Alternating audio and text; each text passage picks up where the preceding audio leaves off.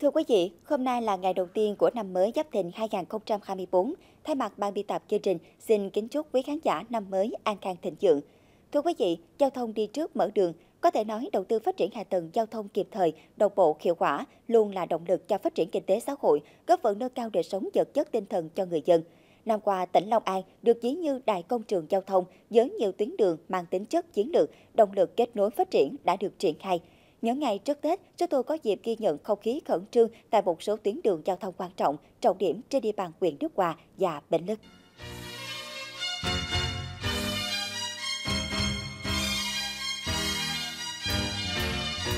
Đường tỉnh 825 đoạn từ thị trấn Hậu Nghĩa đến đường tỉnh 822B, xã Tân Mỹ với chiều dài 6,8 km là một trong những tuyến đường tỉnh chính yếu quan trọng của huyện Đức Hòa, kết nối qua trung tâm huyện và nối với các địa phương khác của tỉnh Long An và cả thành phố Hồ Chí Minh. Tuyến đường thường xuyên có mật độ lưu lượng giao thông rất lớn, Dự án mở rộng đường tỉnh 825 với chiều dài 6,8 km, có quy mô mặt đường 11 m, nền đường 16 m, bố trí hệ thống thoát nước, dĩa hè cây xanh, chiếu sáng, tạo điều kiện lưu thông thuận tiện và phát triển thị trấn Hậu Nghĩa, trung tâm huyện. Tổng mức đầu tư 150 tỷ đồng từ vốn ngân sách tỉnh. Trong đó, gói thầu số 2 chiều dài 2,3 km do công ty trách nhiệm hữu hạn sản xuất xây dựng thương mại Đại Á Châu đảm nhận thi công hiện đã hoàn thành cống thoát nước, hoàn thiện hố ga, tiến hành thảm bê tông nhựa nóng vào trước Tết năm nay, tạo niềm vui phấn khởi cho người dân. Cũng mong cho công trình làm cho nhanh cho bà con ăn Tết vui vẻ, đón cái xuân cho năm mới cho được uh, vui tươi hạnh phúc. Trời dân cũng nao nức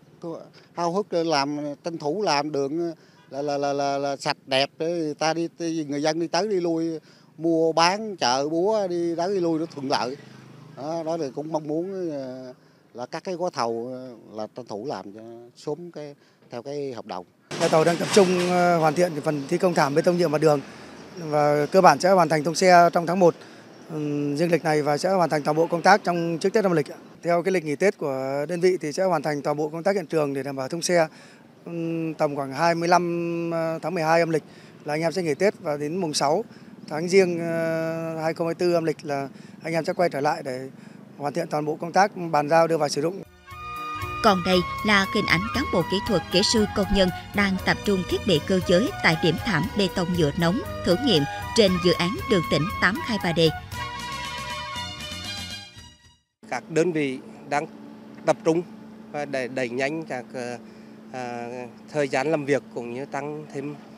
huy động thêm thiết bị xe máy và tập kết vật tư vật liệu để à, đáp ứng công trình, đáp ứng tiến độ.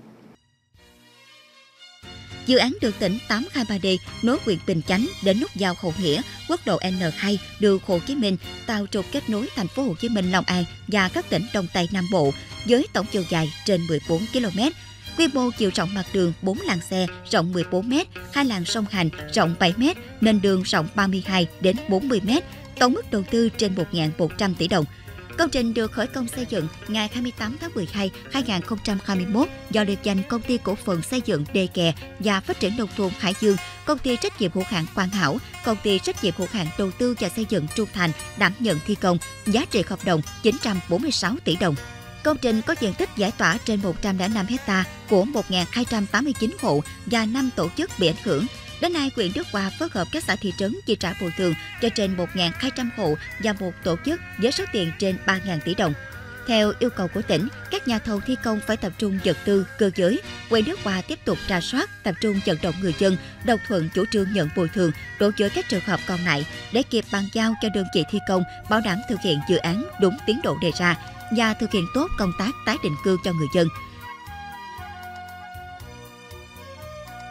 Dự án đầu tư xây dựng đường tỉnh 830E là một trong những công trình trọng điểm của Đại hội Đảng bộ tỉnh Long An lần thứ 11, nhiệm kỳ 2020-2025. Dự án sau khi hoàn thành sẽ tạo trục kết nối giao thông, góp phần quan trọng giải tỏa ủng tắc giao thông qua nội ô thị trấn Bến Lức, kết nối các khu công nghiệp quan trọng từ Đức Hòa, Bến Lức, Cần Đước, Cần Dù đến cảng Hiệp Phước, thành phố Hồ Chí Minh cũng như cảng Long An thông qua đường tỉnh 830 đã được đầu tư hoàn thành. Công trình đường tỉnh 830E có chiều dài trên 9 km, điểm đầu tại vị trí nút giao Bến Lức của cao tốc Thành phố Hồ Chí Minh, Trung Lương, xã An Thạnh, huyện Bến Lức và điểm cuối kết nối ra đường tỉnh 830, xã Long Định, huyện Cần Đước được khởi công ngày 21 tháng 4 2023, thời gian dự kiến hoàn thành trong quý 1 năm 2025. Tuy nhiên, đến nay còn một số hộ dân chưa đồng ý nhận tiền để bàn giao mặt bằng. Sở Giao thông Vận tải cần tiếp tục theo dõi, có giải pháp tháo gỡ khó khăn vướng mắt của các đơn vị thi công nhằm đảm bảo tiến độ thi công dự án. Như một điểm nhấn cho công trình, tại gói thầu thi công cầu qua sông An Thạnh, trước đây còn chứa một số hộ dân. Từ trước Tết năm nay, các hộ này đã nhận đền bù và tháo dỡ di dời về nơi ở mới, cho mặt bằng cho đơn vị thi công. Làm đường tỉnh 830E có dính ngay chỗ cầu rồi gia đình cũng ờ, theo cái của công trình đó, là nhận đền bù rồi về nơi ở mới. Rồi nhà mình cũng đang là tháo dỡ, trả mặt bằng lại cho bên ờ,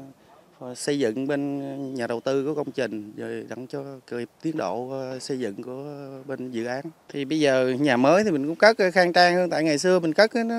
ngày xưa đâu có tiền nó còn cũ kỹ rồi giờ hiện đại hơn thì mình cất khang trang hơn cũng ở thoải mái hơn cái chỗ cũ xưa thời điểm này thì giờ các hộ dân trên cái mặt bằng đang vướng người ta đã đang dỡ di dời và dỡ dỡ nhà cửa ra khỏi cái phạm vi để mà đơn vị thi công ờ, tập kết thiết bị để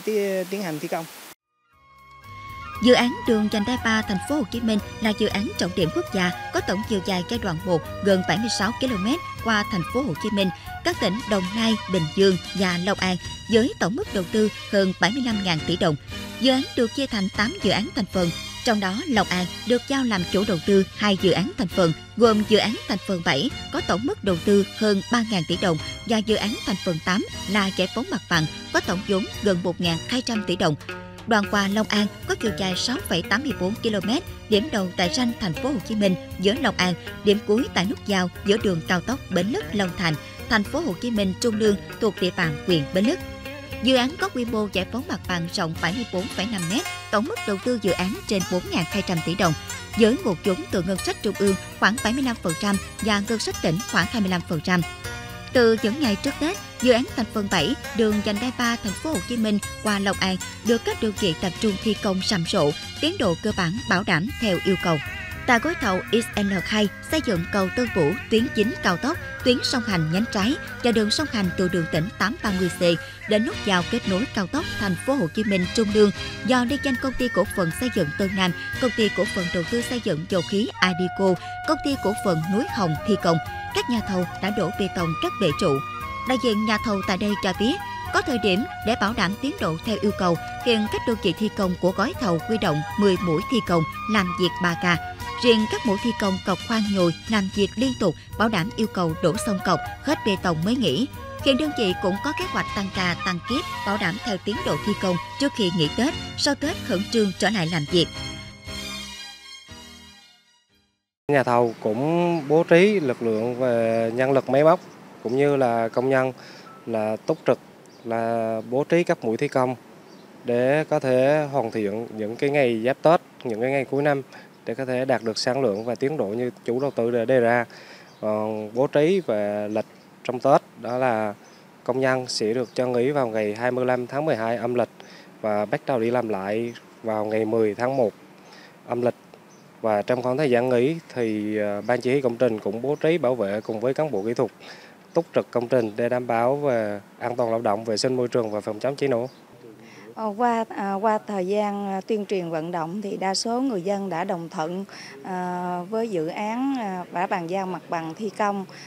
trong quá trình thi công thì người dân rất mong mỏi công trình thi sớm thi công hoàn thành. khi công trình thi công thì đảm bảo chất lượng À, trong à, thời gian thi công thì cũng à, rất mong muốn à, đơn vị thi công đảm bảo công tác về môi trường đảm bảo hệ thống thoát nước để cho người dân phục vụ trong nông nghiệp sản xuất rồi đảm bảo về an toàn giao thông trên các tuyến đường đi dự án đi ngang qua.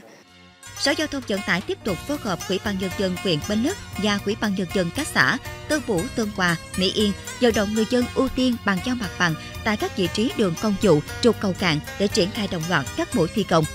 Về xây dựng hoàn thành đường vành đai 3 thành phố Hồ Chí Minh với mục tiêu kết nối các tỉnh thành phố, dùng kinh tế trọng điểm phía Nam, phát triển hệ thống đô thị, góp phần phát triển kinh tế xã hội của đất nước và các địa phương.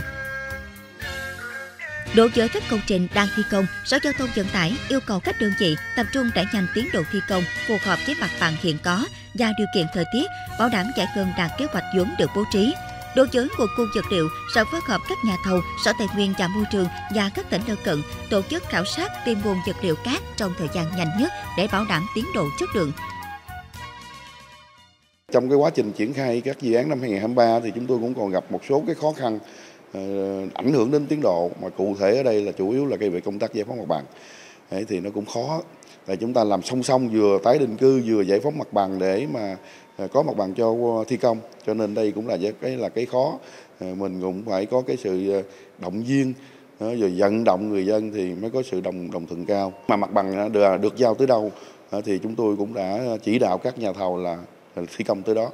Ờ, cho nên thì trong cái năm 2024 là chúng tôi cũng sẽ quyết tâm ờ, phối hợp với các địa phương để làm sao là ờ, có cái mặt bằng sạch để mà đảm bảo được cái tiến độ. Và năm 2024 phải nói là coi như là cái năm để mà thực hiện thắng lợi cái nghị quyết của đại hội tỉnh đảng bộ. Cái năm 24 phải nói là phải nỗ lực rất lớn nữa sự đồng hành ủng hộ của cả hệ thống chính trị và đặc biệt là cái sự phối hợp với chính quyền địa phương để thực hiện tốt bàn giao mặt bằng thì, thì mới đạt được cái kết quả Ờ, mà nghị quyết đã đề ra. Cùng với mạng lưới giao thông kỳ khủ, người dân hy vọng các tuyến đường trọng yếu, trọng điểm trên địa bàn tỉnh hoàn thành đúng tiến độ, chất lượng, phát huy hiệu quả, kết nối giao thông, liên kết giao thương trong tỉnh và giữa các tỉnh thành lân cận, thúc đẩy quá trình đô thị hóa, phát triển kinh tế xã hội của tỉnh nhà, góp phần nâng cao đời sống vật chất tinh thần cho người dân, để thực hiện được điều đó, bên cạnh giải pháp kỹ thuật đảm bảo vốn giải ngân, thì các ngành chức năng và chính quyền địa phương cần tập trung tiếp tục tuyên truyền, vận động, đồng thời vận dụng thực hiện chính sách bồi thường, giải phóng mặt bằng, tái định cư một cách thấu tình, đạt lý, đúng quy định để người dân có sự đồng thuận cao di dời sang nơi ở mới tốt hơn, an cư lạc nghiệp lâu dài, để những tuyến đường đi qua hoàn thành sớm đem lại niềm vui cho tất cả mọi người.